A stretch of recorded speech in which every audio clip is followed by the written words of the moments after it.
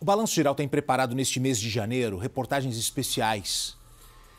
E no meio do ano de 2021, nós mostramos aqui a história do seu ormário. A reportagem se chamava O Mistério do Manicômio. Esse é o seu armário. Eu vou mostrar para vocês agora a imagem de um prédio. Esse prédio foi construído na década de 60 e iria servir como um manicômio, mas nunca chegou a ser inaugurado. Teve problemas de documentação, de terreno. E o tempo foi passando e esse lugar se transformou num lugar assustador e acabou atraindo curiosos. De um tempo para cá, muita gente passou a visitar o local. Dizem até que é mal assombrado. Tem gente que já ouviu barulhos. E por isso acabou virando uma espécie de atração turística.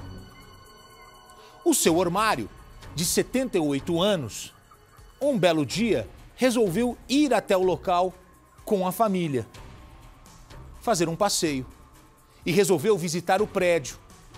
Eles andaram pelo local, tem o pipoqueiro na frente vendendo pipoca, eles compraram pipoca e foram fazer o passeio. De repente, o idoso desapareceu, seu armário sumiu. E a família ficou desesperada procurando por ele e nada, procura aqui, procura ali, nada e este homem nunca mais foi visto. O caso passou a ser conhecido como o mistério do manicômio. Nós estamos falando já de vários meses lá atrás. Pois bem, nós estamos em janeiro de 2022. Ninguém sabe o que aconteceu com o seu armário. Agora, o drama enfrentado pela família ganha um novo capítulo. Numa investigação, a polícia encontra na região restos mortais encontraram uma ossada. Seria esse material encontrado do seu armário? Exames foram feitos, testes de DNA, e você vai descobrir agora, na reportagem, é o seu armário ou não? Reportagem completa, reportagem inédita, balanço geral. Ormário Coelho da Silveira é esse idoso de 78 anos. O marido de Marlise não é visto quando misteriosamente sumiu durante o que era para ser um passeio em família. Nós fizemos pipoca, nós andamos por ali, ele até comeu bastante, assim, estava bem tá bem feliz, assim, até achamos umas florzinhas lá no mato, até estava segurando um buquezinho, assim, que eu tinha dado na mão dele para nós plantar, né? O drama começou às margens da RS 020, em Gravataí, na região metropolitana, onde fica esse prédio abandonado. Foi aqui que o armário desapareceu. Essa estrutura existe desde a década de 60. Foi construída para ser um manicômio que nunca chegou a abrir as portas. Há pelo menos 40 anos, o local está desse jeito, completamente abandonado. É quase que um cenário de filme de terror que encontra a beleza exuberante da natureza. Isso tudo é atrativo para turistas, visitantes que vêm para cá quase que todos os fins de semana passar o dia com a família. Aqui existem muitas trilhas. Ele fez uma das trilhas que tem cerca de um quilômetro. Quando ele estava na metade do caminho de volta, volta para o carro, ele apressou o passo e foi na frente dos parentes. Os parentes, para surpresa deles, ao chegarem no carro, não encontraram mais o seu armário. Bom, a gente estava, depois que a gente fez a última trilha, estávamos voltando, né? E como é uma subida, a gente já estava meio cansado, ele caminha muito mais rápido que nós teve uma curva que a gente não avistou, mas ele a gente apertou o passo, mas ele já não, eu não sei se ele tomou um rumo outra trilha. A Brigada Militar foi acionada e deu início às buscas. Até agora, nenhuma notícia. O terreno é tomado por vegetação e possui diversas rachaduras e buracos, o que dificulta a procura. Para piorar, o armário tem problemas de memória. O meu medo é dele estar tá dormindo nas paradas, tá, tá no frio, né, sem comer, sem remédio né, ser assaltado. O caso também está sendo investigado pela Polícia Civil. O senhor Mário tem 78 anos. Ele tem início de Alzheimer, então com perda de memória. Então é bastante possível que ele tenha se perdido da família durante o passeio que ele fez na RS 020 e tenha seguido caminhando é, sem poder fornecer dados sobre a qualificação dele e em razão disso, de, disso tudo, nós acreditamos que ele possa ter se perdido e continuado a vagar. Então, cada pista que nós recebemos com pessoas com características semelhantes, nós estamos seguindo. A família já recebeu várias supostas localizações do idoso, mas nenhuma foi confirmada até agora.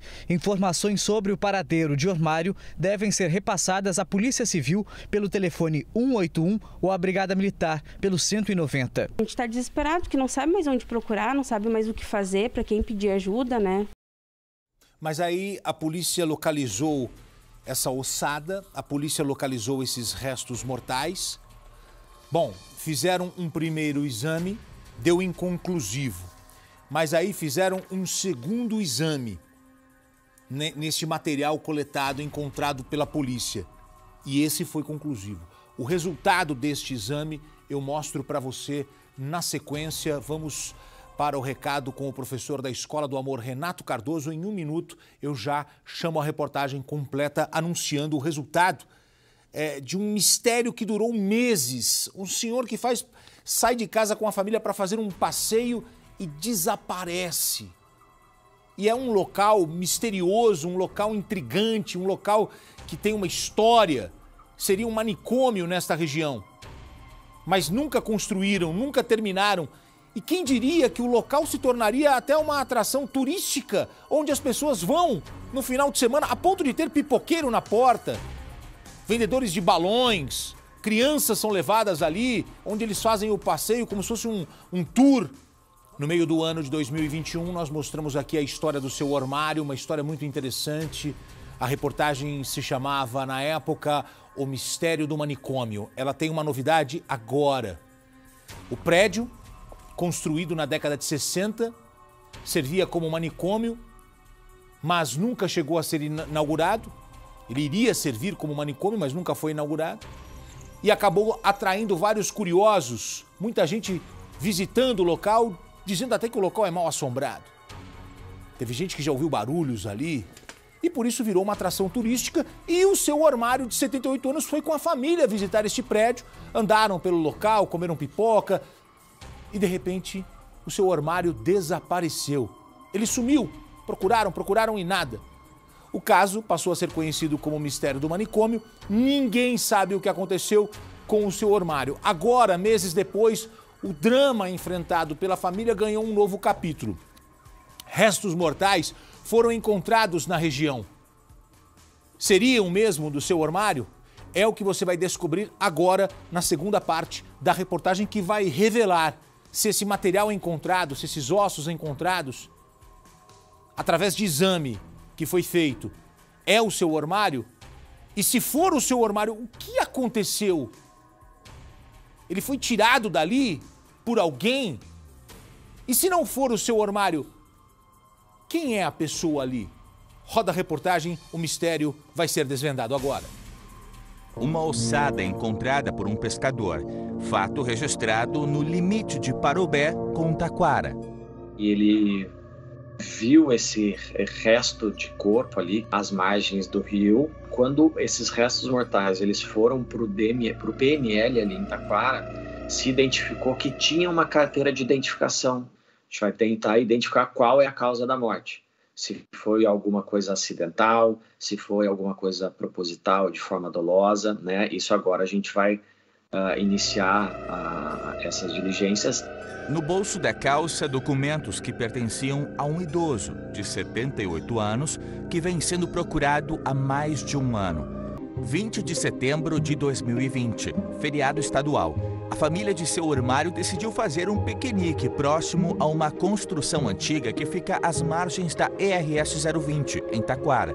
A estrutura foi erguida na década de 1960 e chegou a sediar um orfanato escola. Um projeto que logo se transformou em ruínas, ganhou fama de manicômio abandonado e virou ponto turístico. Na hora de irem embora para casa, Ormário Coelho da Silveira decidiu sair na frente. Ele fez uso de um caminho até então desconhecido da família. Blusão preto com uma listra vermelha, calça marrom, casaco de couro e sapatos pretos. Além de portar documento de identidade e no bolso um papel com o telefone e o endereço de casa, nas mãos, ele carregava um buquê de flores colhidas durante o passeio. Eu tinha em mente, assim, pela idade dele, né, dele ficar assim velhinho, né, eu cuidar dele.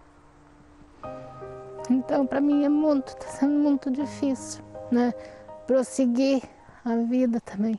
Né? Sem ele, sim. Cinco meses depois da série ir ao ar, é hora da nossa equipe reencontrar a família do idoso. Os resultados da perícia ainda não foram liberados, mas a convicção é grande de que a alçada pertence ao seu armário.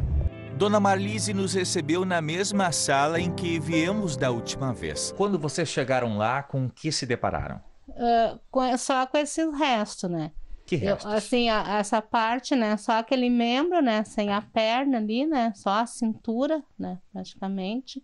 E aí eu reconheci pela, pelas roupas, né? Pelo cinto, pelos documentos, né? Que foi achar. Até inclusive estava intacto o, os documentos, não, não E as mulher... roupas eram as mesmas que ele usava Isso, as em mesmas... 20 de setembro de 2020. Isso, aham, uhum, as mesmas roupas. Inclusive até as roupas dele tá ali no, no roupeiro, não consegui tirar né? E não sei se eu vou conseguir também, né? Que parece assim que a gente está tá sempre esperando, né? Assim, parece se eu tirar as roupas dali, parece que vai, né? Que, que eu tô se desfazendo, né? Então é, vai ser bem. Dói bastante. Aham, dói bastante.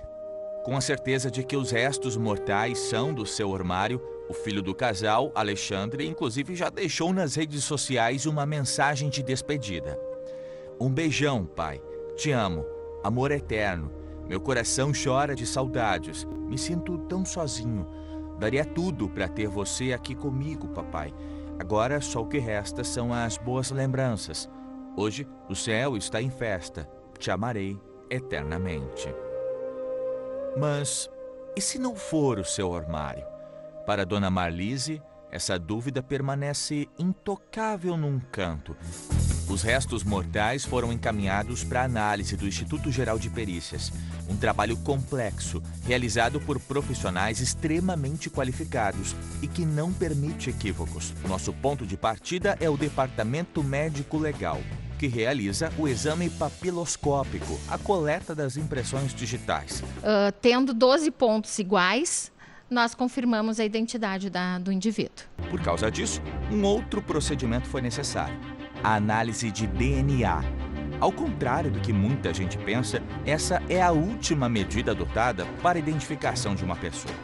Nós temos desde casos uh, que às vezes são ossadas que estão há dezenas de anos enterradas, um crânio que às vezes é encontrado em alguma localidade, uh, quanto amostras mais recentes. Normalmente o tipo da amostra a qualidade e a quantidade de DNA presente nele é o que determina o tempo né, que vai ser necessário para chegar a uma conclusão, uma comparação com algum familiar. O Instituto Geral de Perícias confirmou, através do exame de DNA, os restos mortais pertenciam de fato a Ormário Coelho da Silveira. Foram 15 meses em busca de respostas incessantemente. Apesar da esperança de encontrá-lo com vida chegar ao fim, para Dona Marlise chegou a hora de seguir em frente e de cuidar de quem ficou, com a consciência tranquila de que tudo o que era possível fazer foi feito. Que foram, nem domingo agora fez, se ele tivesse vivo, nós estávamos completando 35 anos de casado.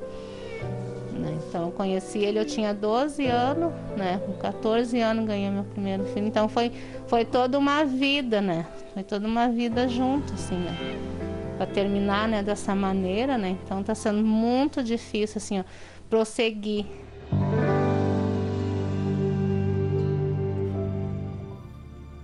Então esse é um caso que não terminou. Embora tenham encontrado os restos mortais, fizeram DNA, é o seu armário. Mas o que, que aconteceu? O, Diógenes, um senhor vai fazer um passeio, é um passeio diferente, é um, mas as pessoas vão ali pela curiosidade, pelo mistério, e eles vão ali nesse prédio que seria um manicômio, mas por que, que chama atenção? Porque é como se fosse um parque, tem, um, tem um, um, uma área verde ali, tem, tem uma estrutura ao lado. E aí o pessoal vai pela curiosidade. Esse homem desapareceu. Agora cabe à polícia descobrir o que de fato levou esse homem à morte. É, é verdade, Gotino. Uma das coisas mais ruins que você tem é o desaparecimento de uma pessoa, porque a família acaba vivendo essa expectativa a vida toda, né? Você, quando você tem uma morte, Você tem, vive o luto, mas depois aquilo vai se amenizando. O desaparecimento não, é cruel o desaparecimento, viu, Gotino? E a família ficou nesse sofrimento, tocava o telefone. De madrugada a família já acha que tem uma informação, às vezes não era. E aí agora veio a informação da polícia, encontraram esse material, precisaram realizar vários exames até que conseguiram identificar que se tratava do seu ormário.